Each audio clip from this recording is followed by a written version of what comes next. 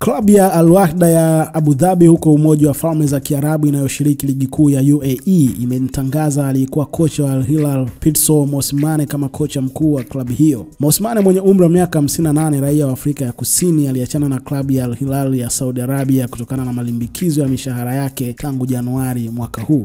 Mosimane aliifundisha Al Hilal kwa miezi nane na kuiongoza kupanda hadi ligi kuu ya nchini humo huku akiongoza kutoa ubingwa wa ligi ya daraja la kwanza. Na habari hizi zinazima zile ndoto zilizokuwa zina uwezekano mdogo sana wa kuwa kweli kwamba huenda mkufunzi huyo mashuhuri barani Afrika angekuja kukiwasha hapa Tanzania kwenye ligi ya Tanzania yani NBC Premier League. Na Mosimana alikuwa anahusishwa zaidi na klabu ya Yanga. Pengine uh, watu wengi walikuwa wanatazamia kocha huyu kuja kuliziba lile pengo la lililoachwa na Nasruddin Nabi ambaye amekataa kuongeza mkataba na klabu hiyo ya Yanga na kuondoka. Sasa pengine watu wengi walikuwa nadhani kwamba Mosimane ndiye ambaye angekuja kuwa mkufunzi wa klabu hiyo ya Yanga, lakini taarifa hizi za mkufunzi huyu kutangazwa na klabu hii ya Al Wahda zimezima zile ndoto ambazo zilikuwa zinatazamiwa na wengi kumuona Mosimane akitua katika ligi ya Tanzania. Maoni yako ni yapi kuhusiana na hiki? Unaweza kuweka hapo chini. Hii hapa ni Vimba Media, tunapatikana hivyo kwenye Instagram, Facebook pamoja na Twitter, na kama bado hujatufuata tufuate ili usipitwe na habari zote za michezo na burudani kutokea nje